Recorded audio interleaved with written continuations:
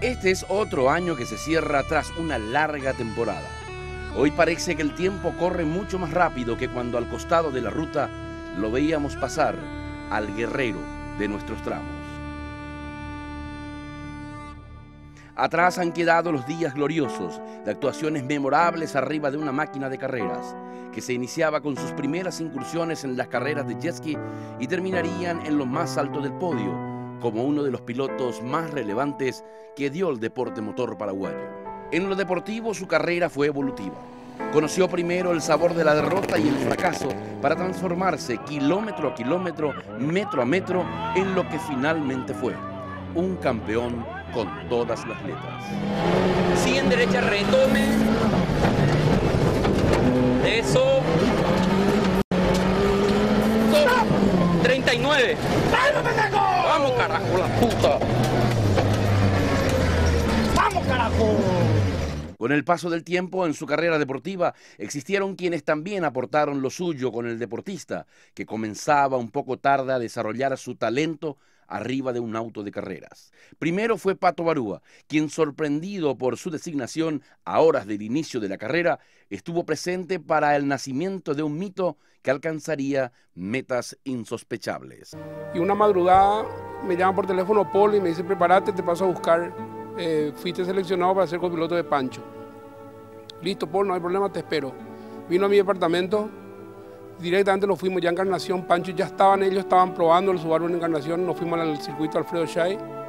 Llegamos allá, hablamos de lo que, me, lo que me iba a dar, que cómo iba a hacer, cómo a él le gustaba. Y bueno, y empezamos a correr, así de sencillo. Fue el primer Itapúa que corrimos juntos, fue su debut en el Subaru. Y así empezó nuestra, nuestra historia con Pancho de parte de copiloto de él, ¿verdad? Después llegarían los primeros resultados y por supuesto comenzaría a quemar etapas. Sin dudas, el Lancia HF marcó un momento muy importante en su carrera y tras un debut poco ortodoxo con un vuelco en Córdoba, continuaría su evolución en el automovilismo paraguayo acompañado de Norman Dumont en la butaca derecha. El, el Lancia fue nuestro, el, auto en el que más corrimos, ¿verdad? Este, un auto fabuloso. Eh, un auto de carrera de verdad, ¿verdad? Daba gusto estar en el auto. Con el Lancia también comenzaba a llegar los primeros resultados. Carrera tras carrera se aprendía y los golpes comenzaban a quedar atrás.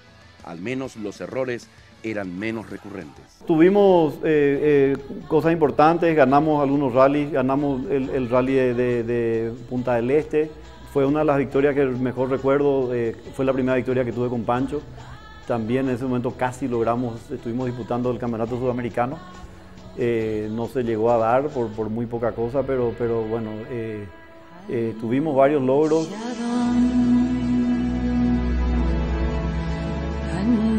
Estaba esperando el llamado de Pancho por felicitarme y al contrario recibí un llamado de Lalo, un amigo que me llama y me comenta, parece que le pasó algo a Pancho. Eh, recuerdo, me, me, paré, salí de mi oficina, no sabía dónde irme, me fui a la red de mi camioneta, evidentemente me fui al sanatorio sin querer creer, pensando que todavía iba a encontrar posibilidades de, verle a Pancho.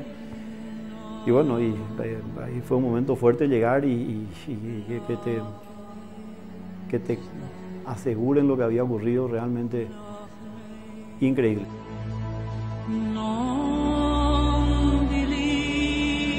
Gracias por los lindos momentos, este, gracias por, por haberme dado la oportunidad de, estar contigo, de conocerte, gracias por las experiencias que me, que me transmitiste y la experiencia que pasamos juntos, no solo a sus amigos, sino a su familia. Yo sé que, que, que caló hondo y que, dejó su huella. O sea, que se quede tranquilo que, su, su, huella va a durar lo que tenga que durar. Sus hijos seguro van a, van a saber lo que fue su padre.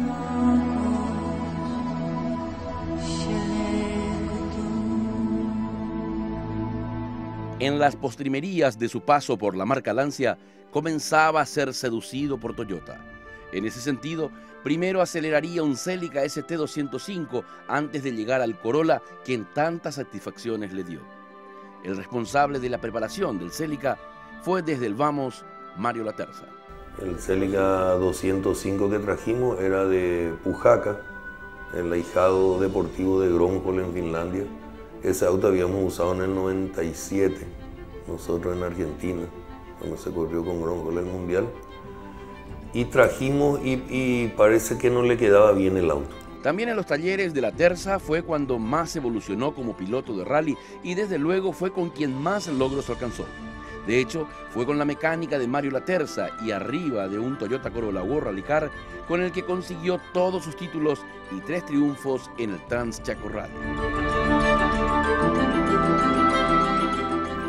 Y, en uno de sus viajes que hizo a Alemania se fue junto a mí en, Toyota, en Alemania, y me dice, Mario, te vamos a dejarnos de, esta joda. Yo quiero ya un auto bueno, yo quiero ganar el Chaco. Y el Celica duró un año un año y después ya el Borra Que lo extraño mucho, que lo queremos muchísimo y que nos vamos a encontrar.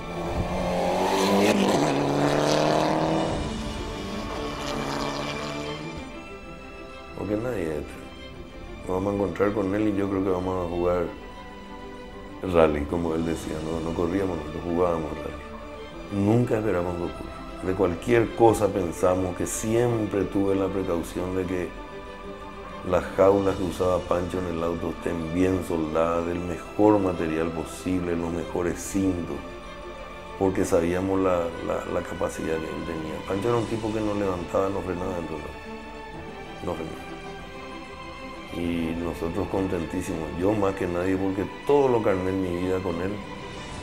Jamás él tuvo un prejuicio de decir, voy a salir a probar si va, voy a frenar. No, salía 200 terminábamos piña muchas pero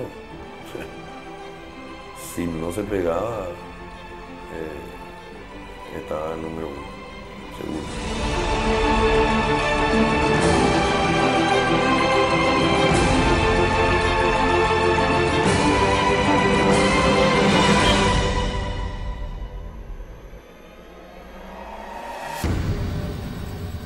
En la última parte del capítulo Toyota, aparecía un navegante con quien volvería a ganar un Transchaco después de aquel terrible accidente en el Trans Itapúa.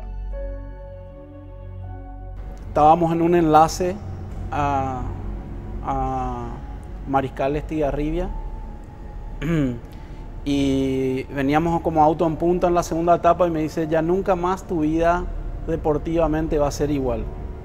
Desde hoy todo el mundo va a recordarte como una persona que ganó el rally del Chaco.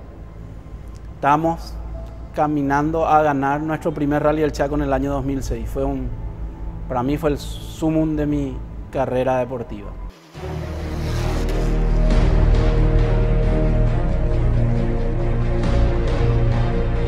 Finalmente, en su reentré, muy esperado por cierto, no tuvo otra opción que cambiar de marca y lo haría directamente con el auto del momento, el Mitsubishi Lancer Evo 10. Sin embargo, no cambió ni preparador ni navegante.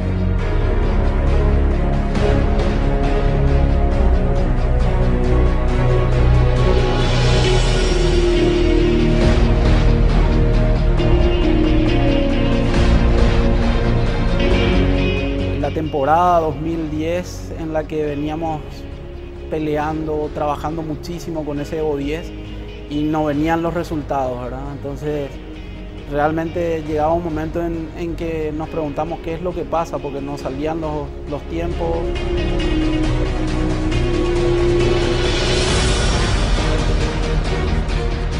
La temporada 2010 no fue del todo exitosa.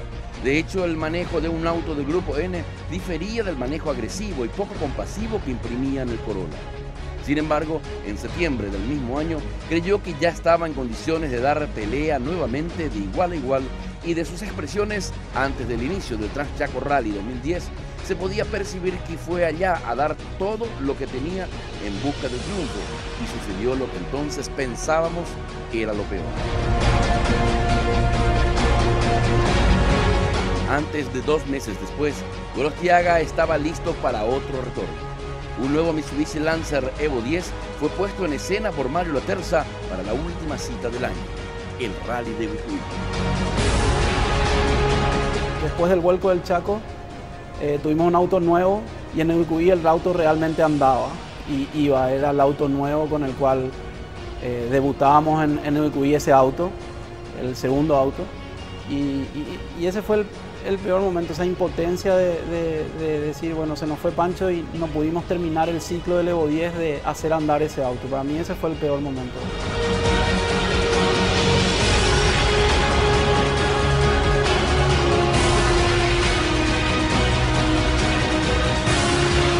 Con ese auto hizo sus últimos kilómetros en el departamento de Paraguarí.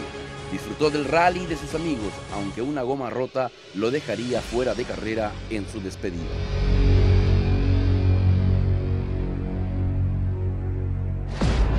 Eh, veníamos en, el 2000, 2007 en la prueba del camino histórico y, y vemos, veníamos en segunda posición y cuando nos encontramos con el auto de Ale, trancado en el talcal y le pasamos, me levanta la mano así, como, como diciendo chocar los cinco. Y yo le bajo la mano sobre el muslo y le digo, vamos, la carrera no terminó.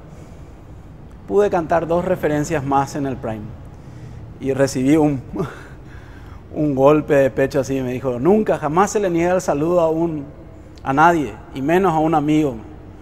Y fue retándome todo el Prime, ¿verdad? Y me decía, es como que en el fútbol te hayan cobrado un penal, todavía no metiste el gol, decía Pero estás celebrando y te estás abrazando con tu amigo. Y bueno, acá pasa lo mismo, todavía no ganamos la carrera, pero nos cobraron un penal y estamos por ganar.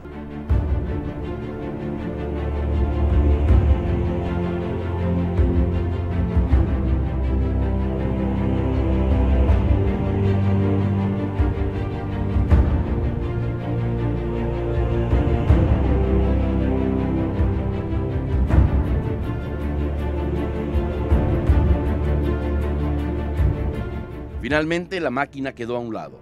Cuando ya no lo ocuparía nadie, fue Diego Yaluc quien decidió montarla y casi como un homenaje adquirir el auto para volverlo a poner en las pistas.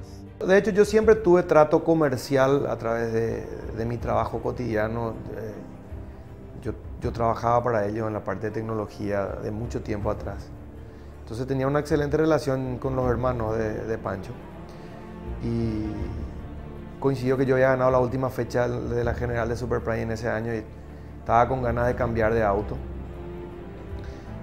Eh, y bueno, me ofrecieron el auto. Eh, no tardamos nada en ponernos de acuerdo porque era un auto cero kilómetros y, y yo sabía con qué cariño y con qué medios se había hecho el auto. Entonces, eh, como te dije, pasó muy poco como para que nos pongamos de acuerdo. Tal vez ahora me acostumbré ya un poco más, me volví a acordar de muchas cosas alargando el Rally del Chaco porque, bueno, eh, Pancho significa mucho en lo que es un Rally del Chaco, pero realmente estoy muy contento. Para mí ese auto es una pieza de colección eh, por, por, por, de, por de quién era, ¿verdad? Hoy en el cierre de otra temporada volvemos a mirar atrás para descubrir que más allá de las carreras, los podios y las fiestas, siempre hay un vacío imposible de llenar. Gorostiaga, te seguimos recordando.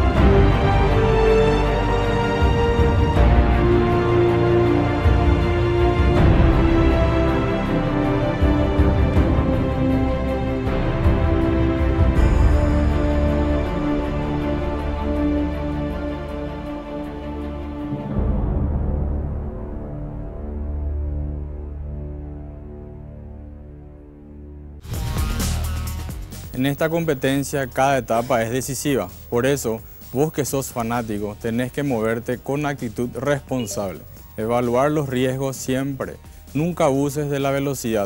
Cuanto más rápido vas, más difícil de controlar se hace el vehículo. Respetá siempre las señales de tránsito en rutas y cuando estás en zona de competencia, mantenete dentro de los límites de seguridad. Nosotros, los apasionados, tenemos este deporte en nuestras manos, así que vamos a llevarlo por buen camino.